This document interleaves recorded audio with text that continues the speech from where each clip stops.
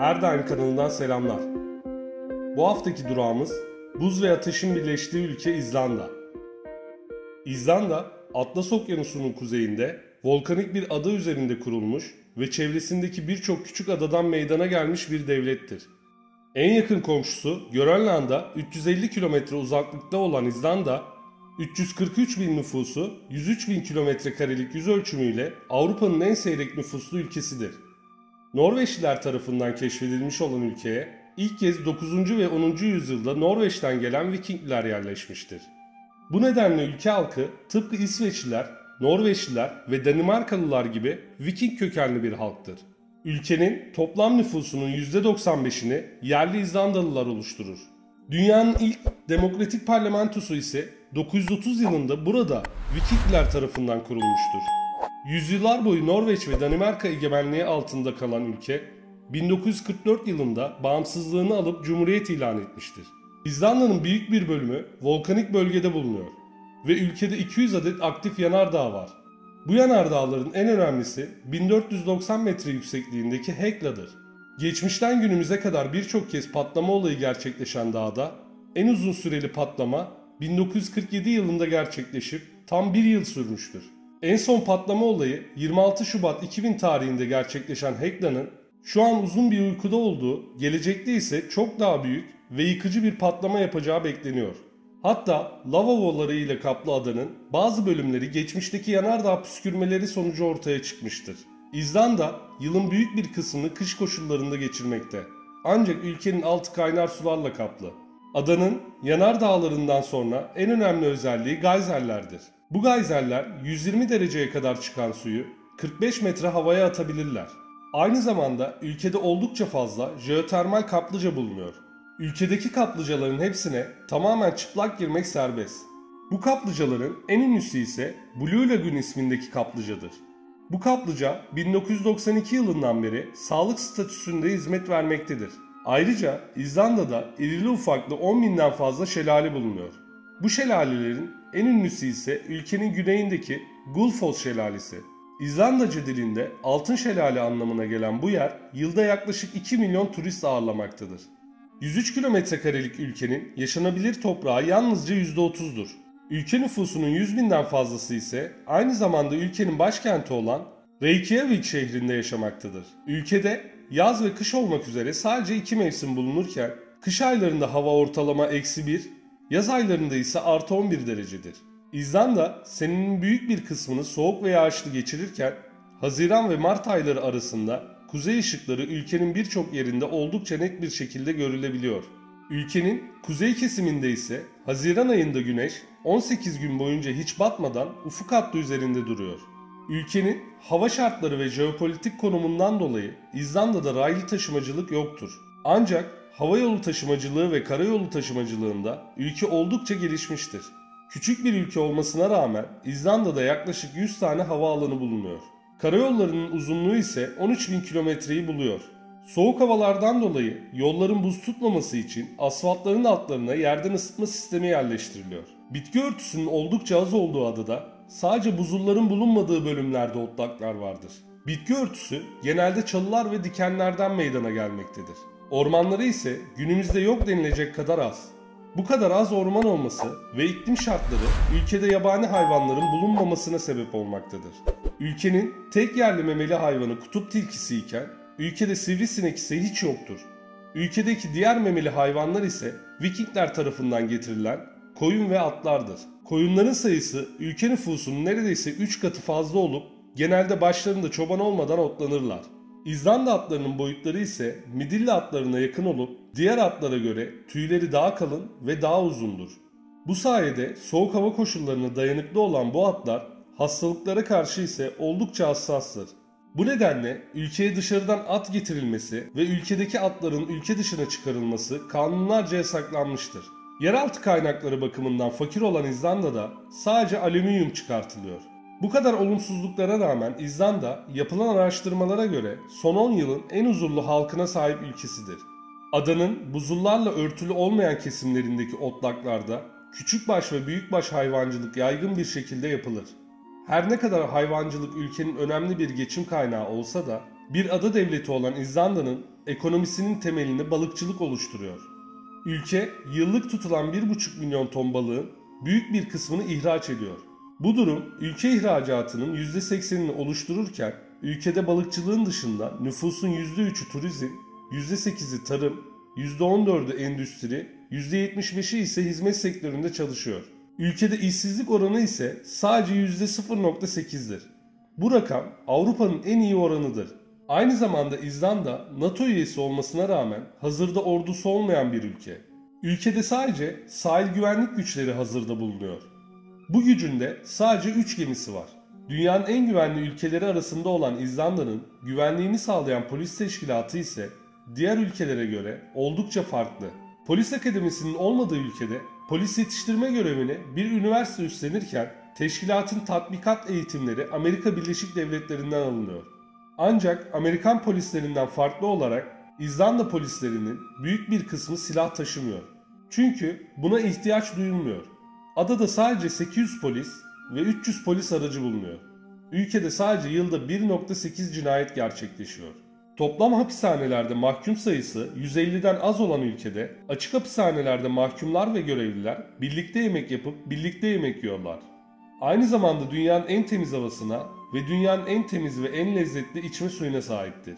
Bu temiz havadan çocuklarının mümkün olduğunca faydalanmasını isteyen anne babalar çocuklarını öğlen uykusuna yatırırken yataklarında değil de bebek arabalarında evlerinin bahçesinde uyutmayı tercih ediyorlar. Ülkede çocukların açık havada uyutulması yıllardır devam eden bir gelenek haline gelmiştir. Hatta öğle yemeklerini anne babalar restoranda yemeği tercih ettikleri zamanlar kendileri yemek yerken veya kahvesini içerken uyuttukları çocuklarını restoranın dışına çıkartıp açık havada bebek arabasında uyutmayı tercih ederler. Aslında çocukların açık havada uyutmalarının sebebi sadece temiz havadan faydalanmasını istemeleriyle sınırlı değil. Aynı zamanda soğuk havaya da çocukluk döneminde alıştırılıp hastalıklara karşı daha dirençli olması ve açık havada uyuyan çocukların kapalı alana göre daha uzun ve daha kaliteli uyku uyuduklarını düşünmeleridir. Diğer İskandinav ülkeleri gibi eğitim sistemleri oldukça ileride olan İzlanda'da 7-15 yaş arası eğitim zorunlu ve tamamıyla ücretsizdir. Çocuklar okullarda sadece temel eğitim almazlar. Aynı zamanda o yaşlarda hayata hazırlanırlar. Ülkenin resmi dili İzlandaca olsa da Danimarkaca, İngilizce ve Almanca da ülkede konuşulan diller arasındadır. Para birimi ise İzlanda kronudur. Günümüzde 100 İzlanda kronu 7.15 TL'dir. Geleneklerine oldukça bağlı olan İzlandalılar çocuklarına her istedikleri ismi veremezler. Ülkede bir isim komitesi vardır ve yeni doğmuş bebeklerine isim vermek isteyen ebeveynler bu komitenin listesinde bulunan isimler arasından bir seçim yapmak zorundadır. Eğer bu liste dışında bir isim seçim yapmak isterlerse komiteye başvururlar ve isme komite onay verirse bu isim isim listesine eklenir. Ancak isim komite tarafından kabul edilmezse anne babalar bebeklerine bu ismi koyamazlar. İzlanda alfabesinde C harfi bulunmadığı için Kleopatra veya Duncan isimleri komite tarafından daha önce reddedilmiş isimler arasındadır. Ayrıca diğer ülkelerde bulunduğunun aksine İzlanda vatandaşlarının özel bir soy ismi de bulunmamaktadır. Soy isimleri babalarının isimlerinin sonuna cinsiyetlerini belirledikleri bir ek almasıyla oluşur. Eğer çocuk erkekse babasının ismi artı sondur, kız ise babasının ismi artı dottidir. Aynı zamanda kadınlar evlendiklerinde soy isimleri de değişmez. İnsanların belirli bir soy isimleri olmamasından kaynaklı ülkede akraba evliliği oldukça yaygınlaşmıştır. Buna engel olmak için İzlandalılar soy ağacını gösteren bir uygulama kullanırlar. Böylelikle akraba evliliğinin önüne geçmeyi büyük oranda azaltmışlardır. İzlanda aynı zamanda Avrupa'nın en fazla çalışma saatine sahip ülkesidir. Haftada 44,5 saat çalışan İzlandalılar ortalama aylık 400 bin kron alırken ülkede asgari ücret 350 bin krondur. Dünyanın refah düzeyi en yüksek ülkeler listesinde hep baş sıralarda olan İzlanda'da tüm ürünler insanların alabileceği kadar fiyatlansa da ülke topraklarının büyük bir kısmı tarıma elverişsiz olmasından dolayı meyve ve sebze fiyatları oldukça pahalıdır. Bu nedenle ülkede hayvansal gıdalar oldukça fazla tüketilmektedir. En çok tükettikleri yemekler arasında kuzu etli sosis ve balık ürünleri gelirken İzlanda'da birçok ülkenin aksine balina avı serbest ve balina eti neredeyse tüm restoranlarda satılıyor. Bunun dışında ülkede yaygın olarak çürümüş köpek balığı eti de oldukça yaygın şekilde satılan yemekler arasındayken Neredeyse tüm dünyaya yayılan Starbucks ve McDonald's gibi zincir fast food restoranları ülkede bulunmuyor. Günümüzde cinsiyet eşitliğinde dünyanın en iyi ülkesi olan İzlanda yaklaşık 45 yıl önce kadınların başlattığı bir grev sonucu bu konuma gelmiştir. 1975 tarihine kadar İzlandalı kadınlar erkekler ile aynı işi yapsalar dahi erkeklerin kazandığı paranın %60'ından daha azını kazanıyordu.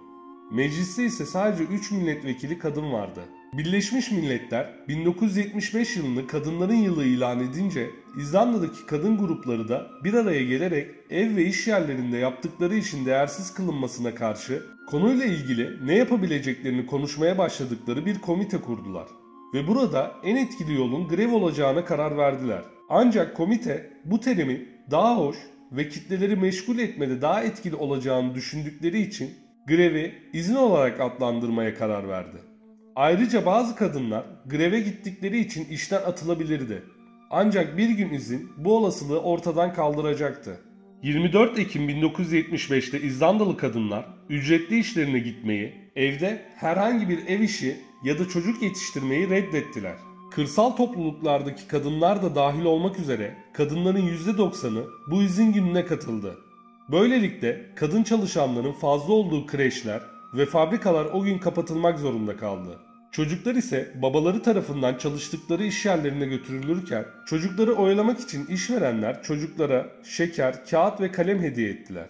Sonuç olarak ülkede izin gününün kalıcı bir etkisi oldu ve uzun cuma olarak adlandırıldı. İzlanda parlamentosu ise ertesi yıl eşit ücreti garanti eden bir yasa çıkarmak zorunda kaldı. Böylelikle kadınlar istediklerine ulaşmayı başardılar. Ayrıca bu grev 1980 yılında İzlanda'nın ve Avrupa'nın ilk kadın cumhurbaşkanı ve dünyanın demokratik seçilmiş ilk kadın cumhurbaşkanının seçilmesinin yolunu açmıştır. Vigdis Finnbogadottir ülkede tam 16 yıl görev yapmıştır. Bu nedenle tüm dünya İzlanda'yı dünyanın en feminist ülkesi olarak görmeye başlamıştır. Şimdilerde ise İzlanda parlamentosunun %40'ı kadınlardan oluşmaktadır. Ülkede doğum izni ise toplamda 9 ay. Bu izni 3 ay anne, 3 ay baba kullanıyor. Geri kalan 3 ayı ise ebeveynler kendi aralarında anne veya babanın kullanmasına karar verdikten sonra anne ya da baba kullanabiliyor. Bunun amacı babaların da anneler kadar çocukların bakımında sorumluluk almasını sağlamak ve annelerin işlerindeki kariyerlerine devam edebilmelerini sağlamaktır. Ayrıca İzlanda eşcinsellerin yaşayabileceği en güvenli ve en özgür ülkeler arasında yer alıyor. 2010 yılından itibaren ülkede eşcinsel evlilik yasal hale gelmiştir. Dünyanın ilk eşcinsel olduğu bilinen başbakanı da burada seçilmiştir. İzlandalılar seçim konusunda o kadar rahattır ki 2010 yılında bir komedyen şaka olsun diye parti kurup belediye başkanlığına aday olmuş ve 4 yıl boyunca ülkenin başkentinde belediye başkanlığı görevini sürdürmüştür. Böylelikle videonun sonuna geldik. Umarım videoyu beğenmişsinizdir. Beğendiyseniz kanala ücretsiz abone olup bildirimleri açmayı unutmayın. Kendinize iyi bakın.